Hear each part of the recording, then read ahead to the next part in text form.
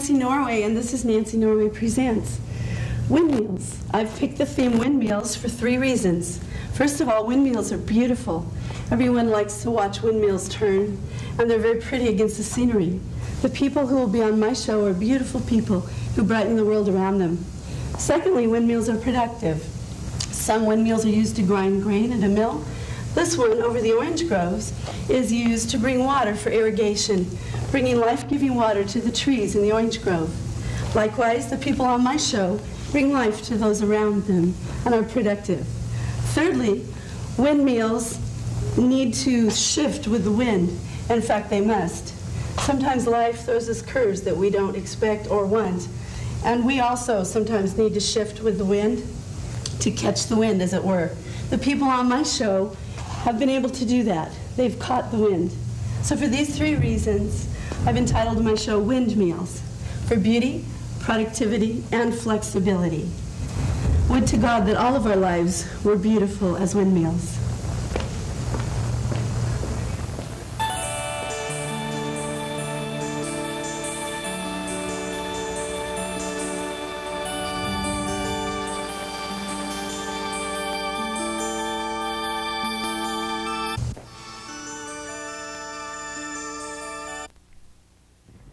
Our guest tonight will be Bob Andersen.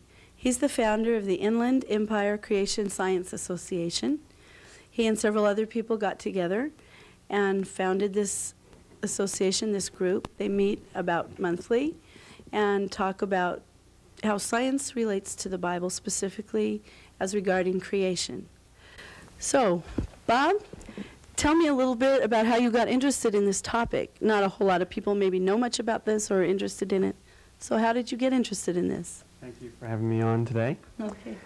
I think my interest began most dramatically one time when I was uh, watching a film on the complexity of the DNA molecule. Mm. And I really hadn't realized up until that point just how complex that one molecule is. And I considered the implications of such an incredibly complex molecule occurring by chance, and I just concluded it was impossible. There's no way. That's true. It's like taking a ladder and turning it around and around and around in a spiral and thinking of all those amino acids matching up. It is incredible. It's like impossible. No one has the same DNA as the next person, and we have so much of it so microscopic. It really would be incredible if that happened by chance. It's more than incredible. It's, Yeah, it was kind of impossible. impossible. And, and given the fact that we hear so little about the impossibility of the chance generation of the DNA molecule, I, I then started thinking, why is it that we're not hearing about some of these things? That Hmm. uh, just how complicated the DNA molecule is and how it could happen by accident. Hmm, that's interesting. Now, there you brought up a point. We're not hearing very much about it. Now, why do you think this is? I think it's primarily philosophical, not Mhm. scientific. I think that there, the real battle is whether there's a God or not. Mm-hmm. And the people who choose not to accept God are trying to use a scientific escape by saying that Darwin was right and that Darwin somehow explains the world without God, therefore we don't need God. But it kind of assumes the fact, uh, well, really, is there a God? And when you consider the two alternatives, whether God created everything or whether there was a total chance creation, uh, it's a lot more explainable due to the fact that there is a uh, designer back there designing some of these extremely complicated things. And there, may- there's, it seems to me that there is a philosophical uh, desire to suppress the evidence that, that really God was the designer that designed it all. Okay, let's think for a minute. If a person doesn't believe in God, then it would be threatening to think that God created us because, after all, then that would make us responsible for whatever God requires of us, and it puts a whole new light on our lives. If we spontaneously generated, or the Big Bang happened, or things just came out of the ocean, then there is no accountability, basically. It's a matter of accountability, it's a matter of faith. A very important point is to think that DNA is just just evolved somehow requires actually more faith than believing in a creator who would design such a complicated microscopic thing, don't you think? It, inc- it requires an incredible amount more faith bec- Mhm. because of the absolute virtual impossibility of that happening by chance. And even gets worse, when you add the proteins, the proteins are also required to the DNA molecule, and you're not going to get proteins by chance. And to have DNA happen by accident, the proteins happen by accident, and the proteins and DNA being able to interrelate to each other by accident, Yeah. it's, it's the possibility is zero. It sounds like so, so incredible that it couldn't happen. That's true. So we have a matter of philosophical difference here. The people that don't believe in God, that are presented with this evidence, basically get nervous and don't want to hear it, or have to come up with an alternate explanation. And the alternate explanations to this point, you want to go into any of those? Well, one of the arguments that they use is this is science versus religion. Mm-hmm. That when you're dealing with Darwin, that's science. Somehow, when you're dealing with the, the fact that a creator created it, that's religion. But, but the question is, how did we get here? A physician who's interviewed quite a few people who have died and come back. And he's found evidence both for happy death experiences and horrible, awful death experiences, leading him personally to believe in the existence of heaven and hell. Along with all of his research, he has researched people throughout the ages who have died and what they said on their deathbed.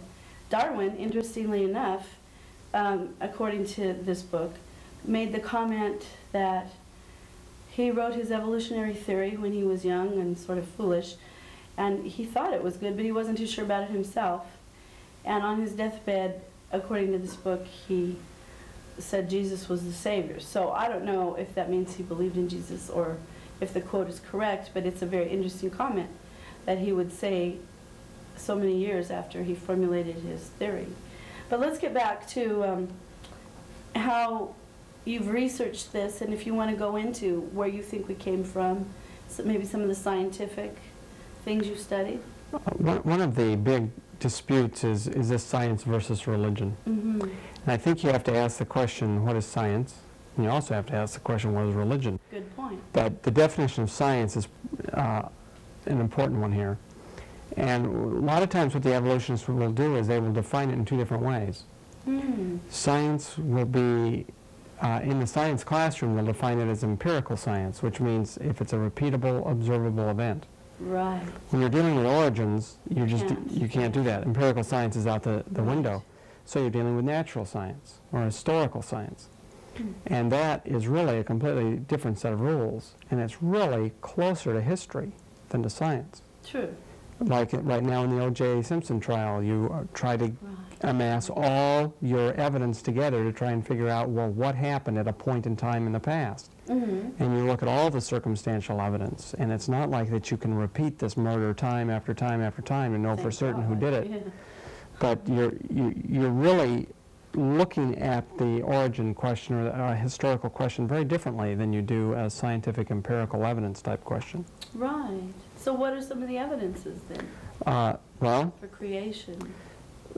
the one that convinced me beyond a shadow of a doubt was the DNA molecule is just too complicated. And when you throw in the deep protein and the fact that the proteins have to interact with the DNA molecule, that to me was, was just conclusive. Evolution is impossible.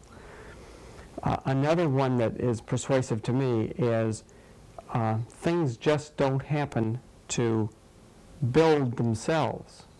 When you look around, it's called the second law of thermodynamics for if you, if you need the uh, scientific name, but you don't even need the scientific name.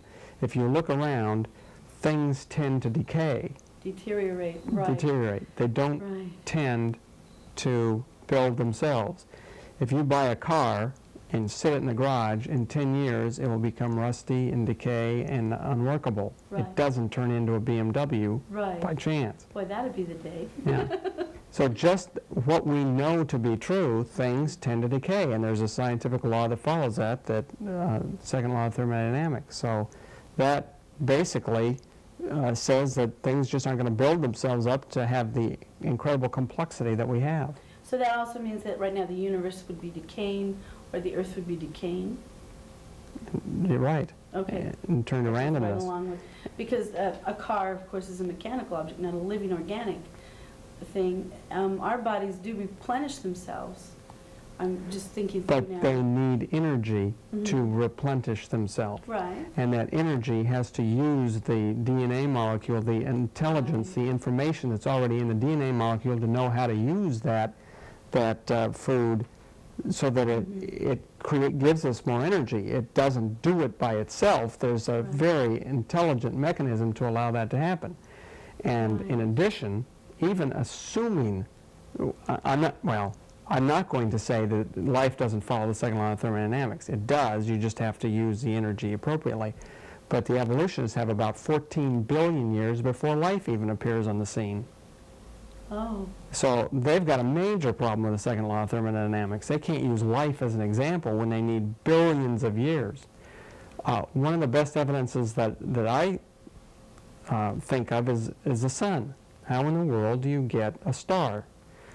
The argument somehow goes that you have this Big Bang explosion and all of a sudden through gravitational force the gases come together and somehow miraculously uh, you get a star out of this.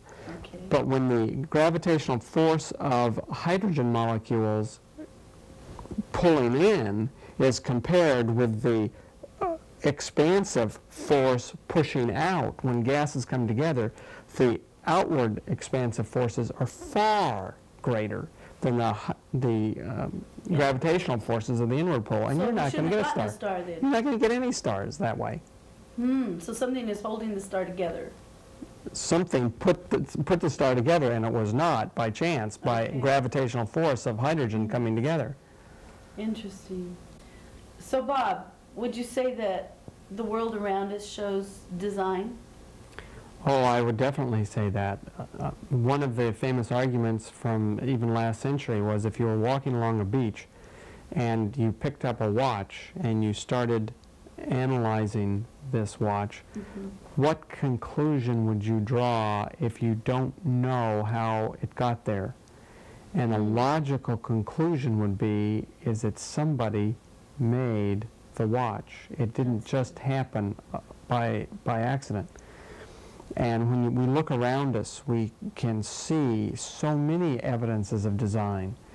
The colors in flowers, uh, the music in humans. The human brain is probably the most complex object in the universe in that kind of square or cubic centimeters.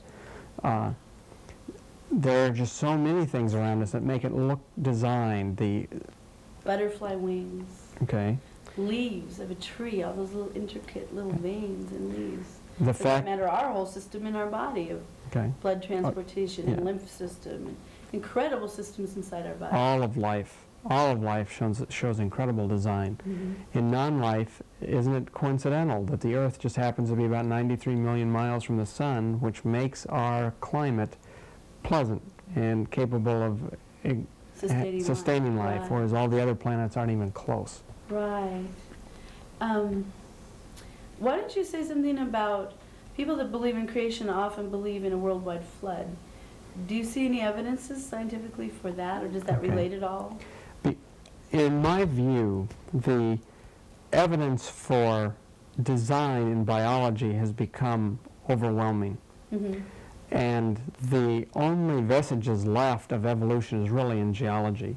Because life is just so complicated and there's just no explanation on how life got complicated, they're really looking toward geology to sustain this geological uh, uh, evolutionary scheme. And the main issue in geology is was there a worldwide flood? If there was no worldwide flood, it would take a long time to get some of these uh, layers of sediment built up. Oh, that's true. But if there was a worldwide flood, you probably couldn't sit there and imagine how much geological change that kind of water could bring. You're, you're talking about a massive quantity of water, and you're talking major changes in the geological structure on Earth. And if there were a worldwide flood, it can explain a lot of the geological uh, foundations. Okay, do some of that. Let's talk about the Grand Canyon, for example. Okay. Grand Canyon is 7,000 feet high on the south rim and 8,000 feet high on the north rim. Hmm.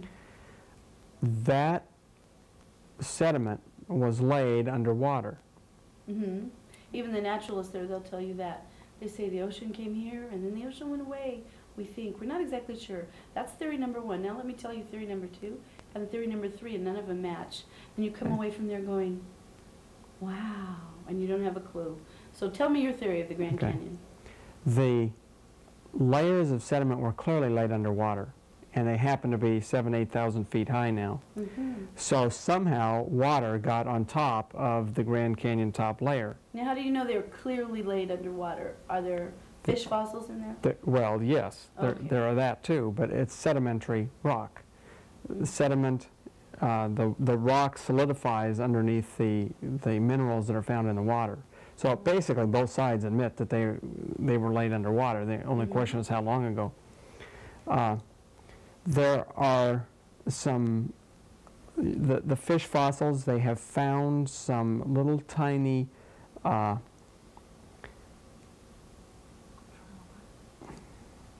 portions of trees that were supposedly far after the, or far before you would normally expect the conifers to be found. Way down in the basement rocks, they found evidence of- trees from so many billion years ago that trees wouldn't have existed, that no life would have existed at I that see. time. So according to evolutionary theory, in those layers, there shouldn't be trees.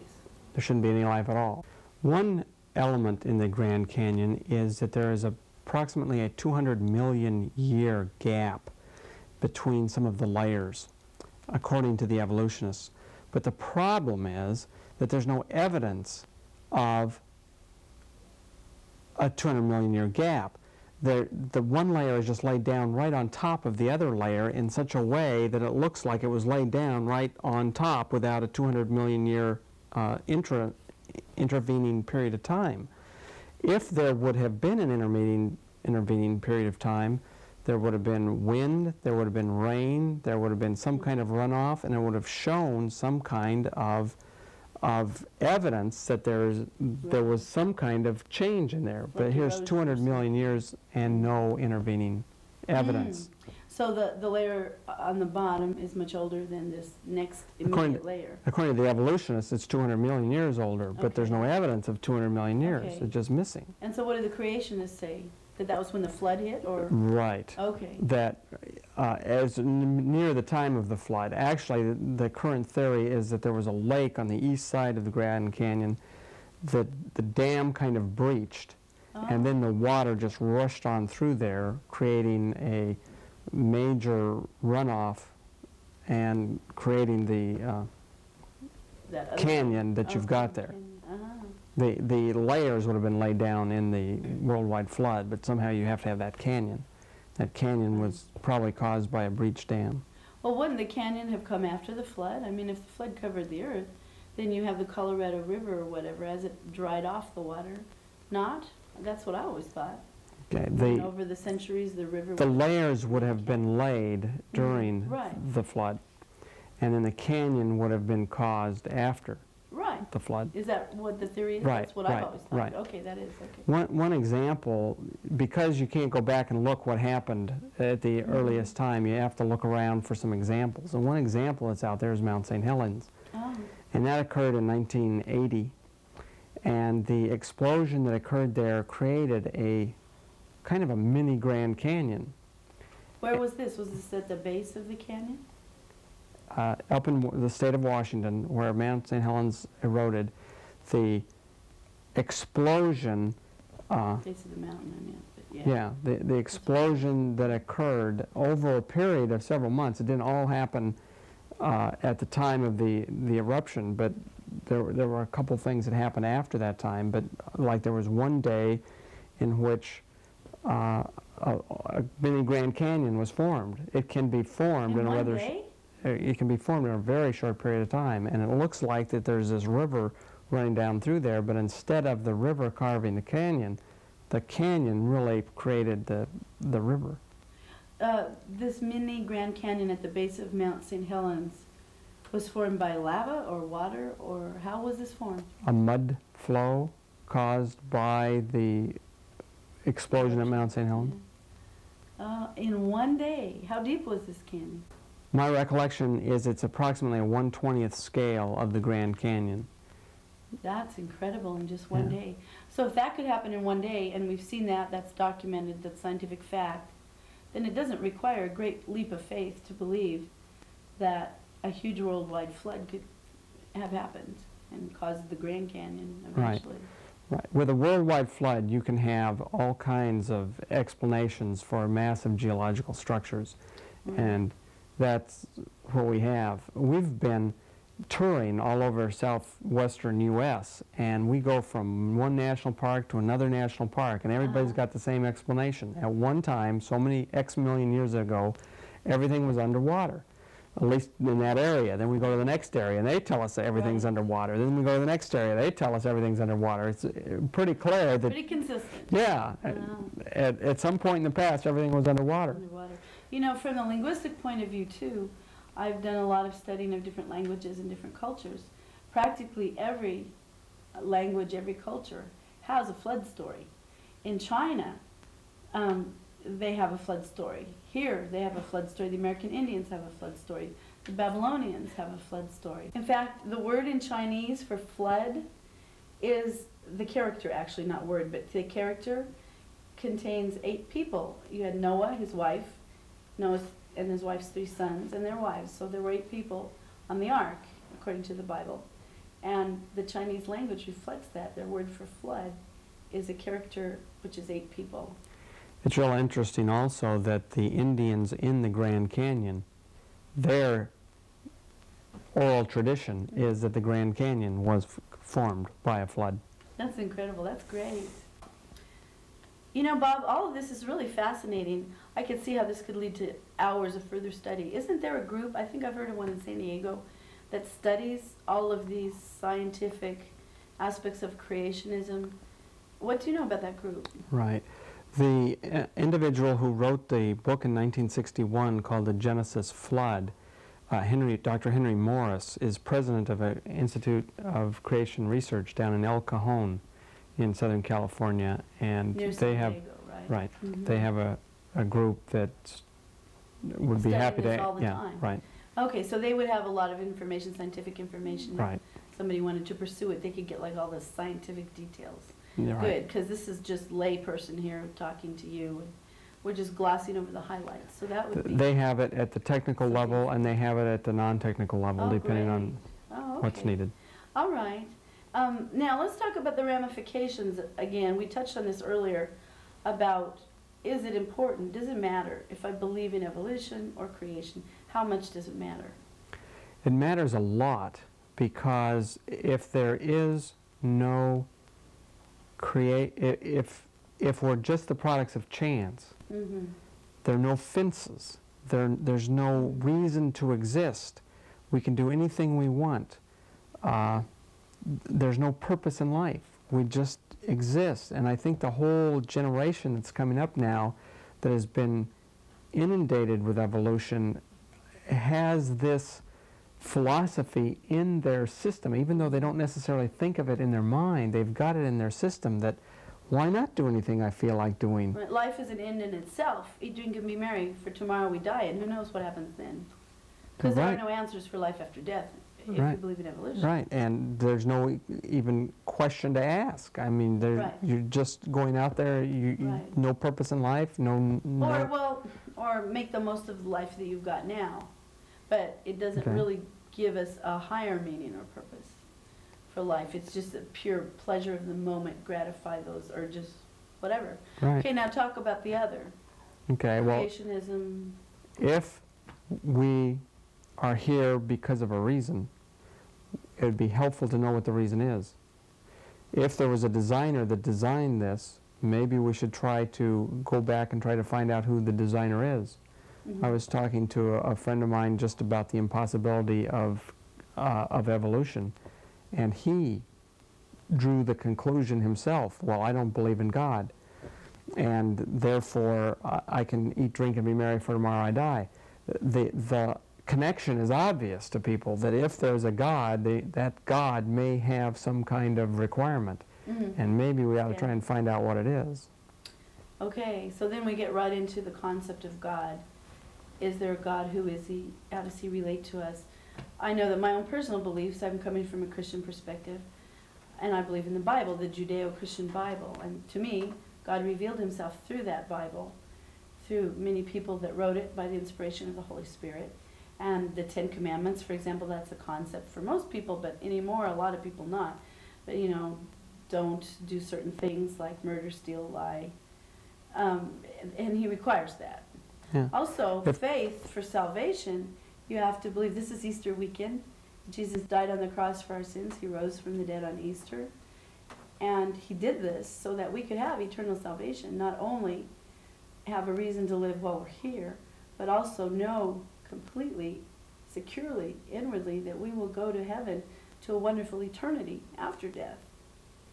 And this is a huge difference than I came from a blob, I'll return to a blob, and whatever happens here happens. Right. It just seems to the casual observer that humans are different than other animals. Right. Do we have a soul? And if we I do, so and if we do, where did we get it from? Hmm. If Charles Darwin is right, we have no soul. Let's just push everybody else down. The survival of the species, the, the survival of the fittest. Let's just push, Mm. push, push, and get what we want. But if we have a soul, then maybe we ought to try to find out well what the purpose of that soul is, and then to look to try and find out has that God that created the heavens and the earth spoken, and if so, what did that God say? And we better listen because he made Yeah. us, not the other way around. That's right. I've been reading a book about people's near-death experiences, and it seems to be whether you're New Age Christian or what anymore, the people that have had heart attacks and almost died and come back, or for whatever reason have had near-death experiences and come back, they don't talk about just nothingness of existence. They go somewhere, whether it's heaven or hell, whether they go through tunnel to the bright light. I think by now it's pretty much common knowledge. People do believe they continue after death. So, since this is now evidenced in recent years, this is scientific evidence. The people that have died and come back, they've been there, they tell, they remember in their stories uh, match as to, you know, the tunnel and the light. Now, the light at some points can turn into flames of fire, but most of the people repress that and they won't report it. But there's three or four researchers that do. But nevertheless, the, the people tell consistently the same things about hell and the same things about heaven. So this is empirical evidence too that we do exist after death. And that also impacts on whether we believe evolution or that there is a God, creation is here for a reason. Sure makes you a lot happier to think there's a God, He loves you, He died for you even, He loves you so much, He gives you a reason and purpose for living, and it puts a whole new aspect on our life.